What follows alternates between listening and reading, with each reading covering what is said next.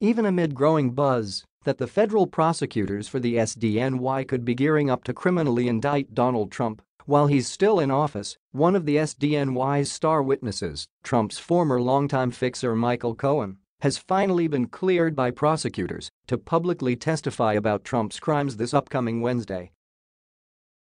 Now we're learning about the dirt that Cohen has given the SNDY on Trump.in, what appears to be an attempt at laying the groundwork through the media for Michael Cohen's upcoming public testimony, someone, read, the SDNY itself, has given the New York Times the lowdown on what Cohen has given the SNDY.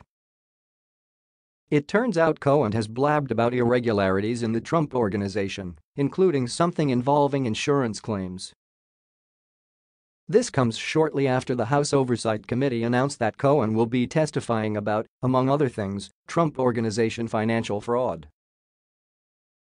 But there's more. Michael Cohen has also dished to SDNY about payments made to Donald Trump's inauguration fund, which are widely suspected to have been thinly disguised personal bribes. In other words, this New York Times expose confirms the specifics of what we already knew in general terms. Cohen has given the SDNY everything he knows about Trump's crimes.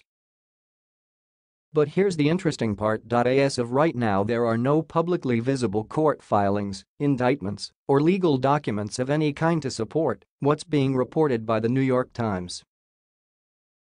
It's difficult to imagine that the SDNY has cleared Michael Cohen to publicly testify about these matters next week unless it plans to file something somewhere to support it.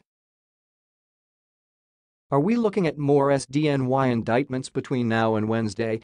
Something has to give here, and soon.